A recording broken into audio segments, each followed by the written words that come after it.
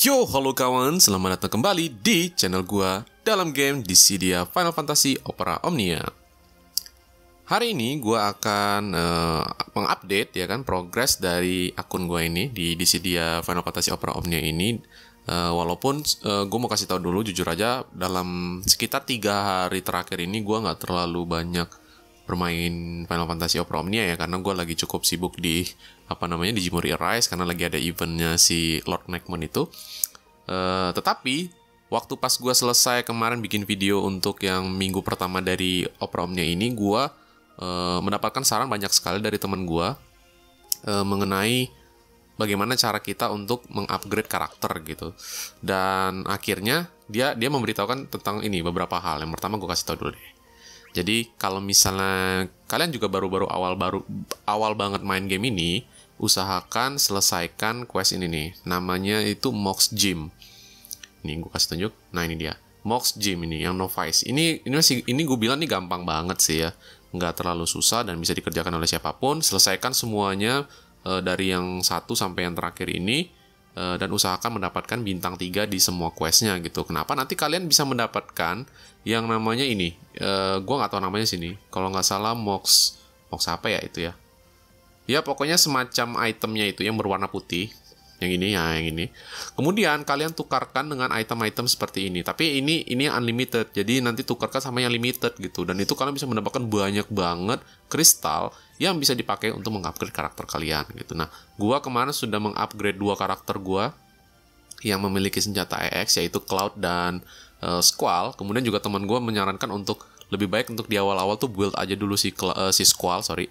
Karena Squall itu dia uh, kalau belum di upgrade kalau kristalnya belum level 60 dia itu si, serangannya cuman single target dan juga cuman ngisi brave doang. Makanya dia sebenarnya role-nya adalah brave battery gitu. Tapi ketika dia kristal sudah 60 single target tadi berubah menjadi AOE dan itu sangat berguna sekali untuk menyelesaikan quest-quest terutama quest-quest yang butuh power uh, bukan power sih total total power terakhir tuh butuh gede gitu loh. Dan ya setelah gue lakukan akhirnya gue berhasil menyelesaikan, menyelesaikan lost chapternya si Squall Leonheart sehingga akhirnya gue berhasil mendapatkan Leonheart bintang 6 nih sekarang malah karena gue udah ngelimit break sampai yang terakhir ya.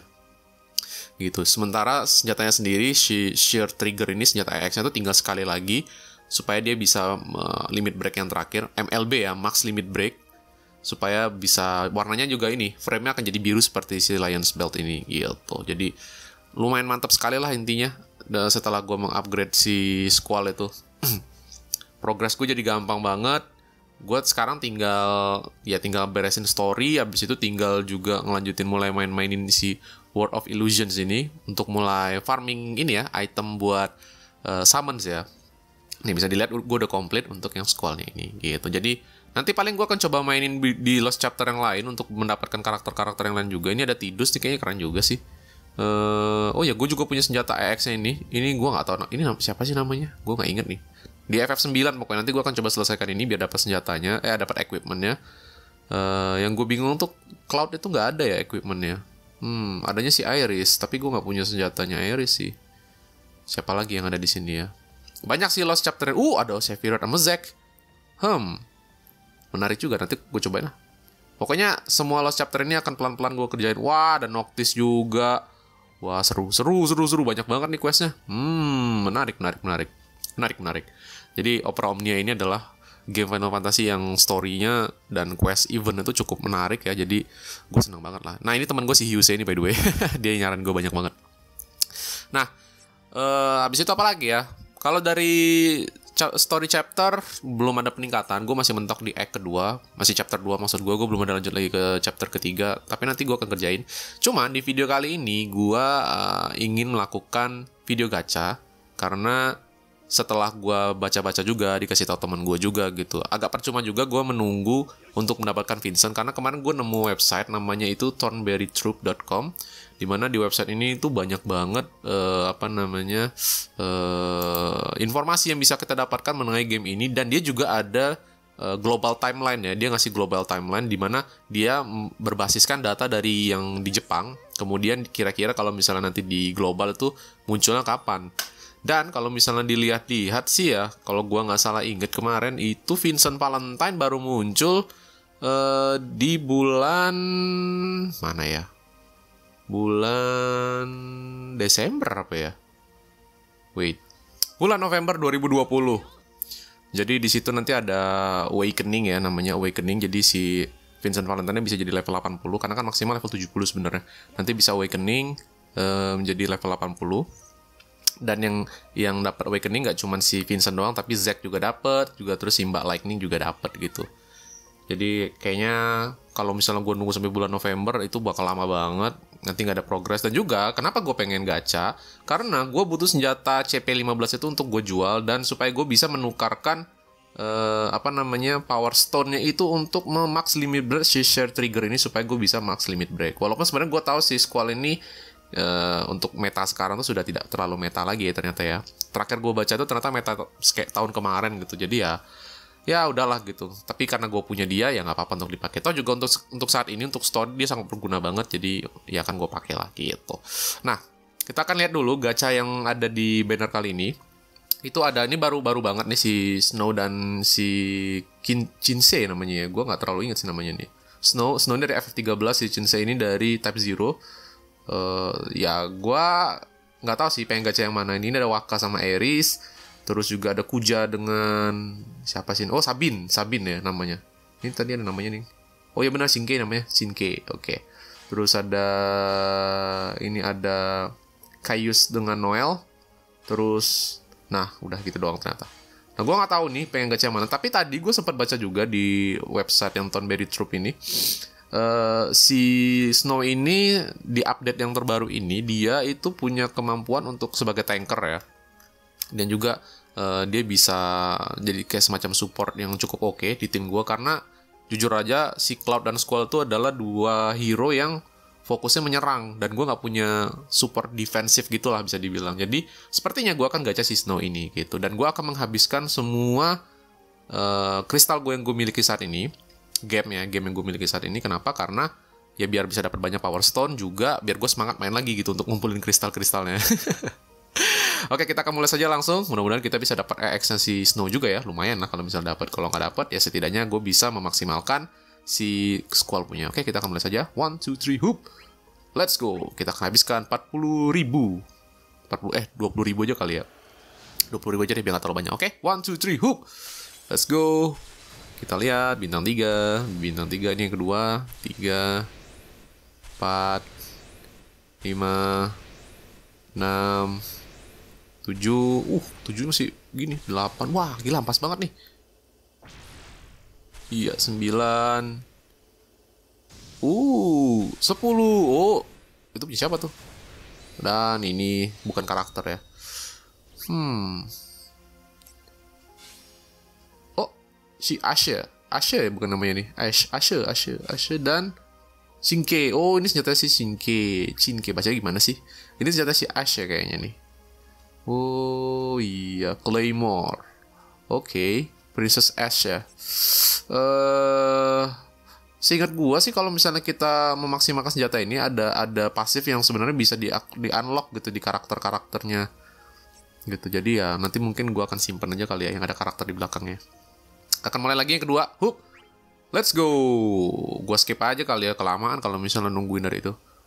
Uh, tapi dari silver ya. Kita lihat. One, two, three, hoop. Langsung saja kita skip dan oh snow. Kemudian cat seat.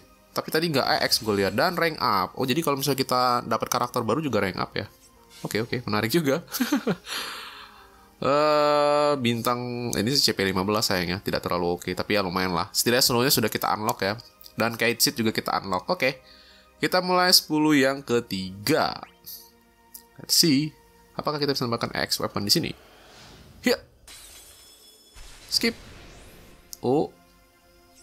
Ya. Eh, tapi dapat yang ini. Seismic Shaker. Uh, lumayan sih. 35 tapi CP-nya nggak terlalu gede. Ya oke okay lah. Hah, lanjut lagi yang keempat. Uh, eh, gue waktu itu pernah dapat tiga sekaligus X weaponnya kenapa ini cuma dikit banget ya come on skip saja lagi oh itu seat lagi Wah, kayak sini dapat 35 CP-nya. Uh, lumayan, lumayan, lumayan, lumayan. Oke. Okay. Uh, gue udah 4 ke 20 ribu kali ya. Udah, nggak apa-apa, habisin aja deh. biar dapat banyak power stone-nya. Let's go, let's go. Udah karakter baru lagi tuh kayaknya. Skip. Dan, uh, dapat si Sabin. Tapi cuman yang 15 ya, boleh lah. Dan gue dapat yang ini lagi 35 lagi. Uh. Jangan-jangan gue bisa maksain limit break nanti abis ini nih. Kenapa di bannernya Snow sama Shinke malah dapetnya si Ketsit banyak sial. Hup. Wah, si Shinke. Dan Snow lagi tapi yang 15. Ah, sayang sekali ya. Come on. Dua kali lagi, dua kali 10 nih. Wah, warna putih apakah lebih bagus isinya? Kita lihat. Dan Oh. Oh iya dapat lagi nih si Catsit. Wah, hoki banget nih si Catsit gua. Banyak banget tuh. Sayangnya bukan EX sih, jadi nggak ada pasifnya. Dan ini yang terakhir. Anjir nggak ada dapat EX sama sekali, sedih banget nih. Eh, yang terakhir udah kita nggak usah di skip deh, kita lihat aja. Wah, kok sedih gini gue nggak ada dapat EX sama sekali. Hmm, at least buat Snow gitu. Atau si Shinke juga boleh sih, cuman ya sedih aja gitu nggak dapat EX ya. Hup. Oh, ini EX ya? Itu ada X ya? Uh, ini yang biasa nih. Oke, tadi gue dapet X si Shinke deh. Bener nggak? Oh iya, uh, tapi gue nggak tahu si Shinke ini oke nggak sih? Sayangnya kayaknya enggak deh. kayaknya sih enggak ya. Uh, coba gue coba sambil buka dulu. Kita akan coba sedikit baca. Gue nggak usah tunjukin aja, gue bacain aja. Jadi dia ini role-nya adalah sebagai melee attacker, kemudian juga dia debuffer, launcher, sama delay. Oke. Okay. Hmm, dia punya banyak skill yang kayak bisa stun sama dispel. Oke. Okay. Jadi kita akan lihat power dia tuh apa. Jadi dia ini hard hitting damage dealer dan debuffer untuk melawan musuh. Kemudian juga dia menginflict AOE, turn red down kepada musuh dan membuat X delay enemy enabling you to maximize her excessively hard hitting launches. Hmm, by inflicting oke, okay. Singkat is still slow. Oh sayang dia lambat ya, walaupun uh, dengan X plusnya. Hmm, hmm, ya dia sebenarnya damage dealer sih, dan kalau misalnya lawan musuh yang gede ya lumayan. Jadi ya bagus tapi tidak sebagus itu sebenarnya. Kalau gue berharap gue dapat si Snow sih untuk tanker gue tapi ya gue dapatnya EX si Singke jadi ya udahlah. Diterima saja apa pun yang kita dapatkan gitu. Toh yang penting EX ya senjata EX itu walau bagaimanapun juga tetap berguna. Gitu. Sebenarnya gue punya single draw ticket ini cuman gue agak males aja makanya nanti aja tunggu banyak. Itu aja kali yang gue simpan nanti buat Vincent kali ya. Sampai November. Berapa banyak gue bisa dapatkan uh, single tiketnya itu. Sekarang gue akan menjual senjata gue bintang 5 uh banyak banget nih gila. Oh my god a lot. I have a lot. Uh, eh, gue akan jual yang tidak ada eh, karakter di belakangnya kali ya. Ini satu habis itu ini dua habis itu eh habis ya yang bagus-bagus ya? Eh wah sayang banget uh, ya terpaksa gue jual ini deh. Terpaksa ya. Aduh sayang banget. Padahal gue nggak mau jual itu. Uh, yang kayak seat aja deh. Kayaknya gue gak terlalu make deh. Gue cuma butuh satu sih. Yang ini lagi. Ya kali ya. Satu dua tiga empat. Oke. Semoga gue nggak menyesali di, ke depannya hook next yes proceed yes oke sekarang gua akan me-enhance atau melimit break dari senjata punya si Squall. Ini dia. Hahaha. Limit break. Yap. Confirm. Oh, sorry. Max confirm. Dan akhirnya senjata si, eh, si Squall akan menjadi Limito Break. Hup. Yeay, dan sekarang kita pasifnya ke unlock ya, yang Assault Trigger Recast Up. Mantap sekali. Sekarang gue tinggal naikin levelnya. Eh, kenapa gue iniin? Salah, salah, salah. Levelnya, levelnya. Hup. Uh, orbnya, gue pakai yang ini masih banyak nih. Kayaknya cukup deh, nih. Apa deh. Eh, kalau gue kurangin, efek nggak? Pakai sisanya yang ini ya. Oke. Okay. Yes. Hup. Yeay, dan sudah jadi frame warnanya biru ya. Jadi bintang 6 dia senjatanya sekarang. Uh, passive ability, assault trigger, recast slow. Yeay, dan bisa di realization sekarang ya. Oh. Realization. Realization coba ya. Kita coba cek. Gue gak tahu nih realization maksudnya apa ya. Hup. Oh. Oh, gue udah punya dapat gratis satu ya. Oh, oke okay, oke okay, oke. Okay. Uh, jadi dia eh bisa plus satu gitu sekarang maksudnya. Gimana sih gue nggak ngerti. Oh, kalau di realization tuh limit breaknya ngilang lagi jadi balik jadi awal lagi. Oh my god. This is too much actually. Tapi ya oke okay lah ya. Hmm, you will obtain a ruins adamantine ingot for realizing this gear seed. Ya oke okay lah, gue nggak ngerti apa apa sih. Tapi ya, gue iyain aja. Yes. Dan sekarang jadi plus realize. Wah, terus kalau mau nge-realize lagi gimana caranya ya? Gue juga Wah, ruins adamantine ingot. Kalau gue mau realize lagi gimana caranya? Oh, bisa dipakai lagi gitu maksudnya? Gue nggak ngerti nih. Eh, bener gak ya? Gue gue takut salah loh. Bener gak nih? Kayak gini caranya nih. What is the limit break? Oh, apakah gue harus gimana sih gue nggak paham deh serius deh gue seriusan gue kurang paham nih kalau misalnya udah selesai supaya dia bisa nge-realize itu ya nanti gue akan coba cari tahu gue nggak akan pakai ini dulu yang jelas gue cuma akan mengupgrade levelnya aja Hup. Wanjir gitu gila butuh banyak banget tuh ternyata 315 dong ya ampun ya tapi oke lah at least sekarang squall gue jadi super kuat. Yeay. Wah, keren banget sih kelihatannya share triggernya. Nanti nextnya gue akan coba gedein punya si Cloud. Masih jauh sih untuk bisa ke bin, ke realize. Tapi yang jelas si squall gue udah oke. Okay.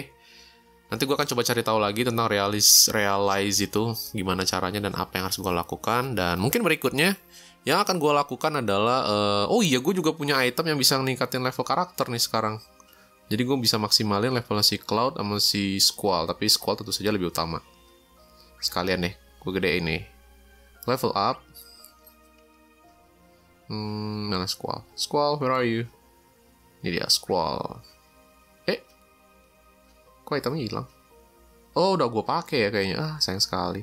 Oke, jadi kayaknya segitu aja dari gue untuk video di minggu kali ini. Jadi improve-nya, menurut gue sih improve-nya udah lumayan oke okay untuk dua minggu ini walaupun sebenarnya ini sangat lambat sekali ya improve gue ini temen gue udah level 60-an gue masih level 20-an gitu tapi tapi buat gue pribadi yang emang mainnya nggak terlalu fokus di game ini ini sangat apa ya sangat sangat puas lah gitu. Gue sangat puas sekali dengan upgrade gue dan gue mulai sedikit lebih banyak mengerti tentang game ini gitu loh. Uh, yang jelas nextnya gue akan menyelesaikan story act ketiganya. Kemudian gue juga akan lebih rajin untuk uh, apa namanya melakukan grinding atau farming di uh, summon ya summon. Gue lagi fokus di Shiva by the way karena nggak tahu sih Shiva mungkin yang paling gampang tuh saat ini kali ya Abis itu nanti gue akan coba yang versi yang kayak ultimate-nya gitu kali ya. Untuk kalau jadi kalau sama level 20 tuh kita bisa ada kayak summon board yang bisa kita aktifin. Nah, nanti gue akan coba main di situ juga biar karakter kita jadi semakin hebat dan semakin kuat. Dan kita bisa menyelesaikan konten-konten yang lebih hard di ke depannya. Oke, segitu dari gue. Sampai kita ketemu lagi minggu depan dalam Dissidia Final Fantasy Opera Omnia part berikutnya. Dadah.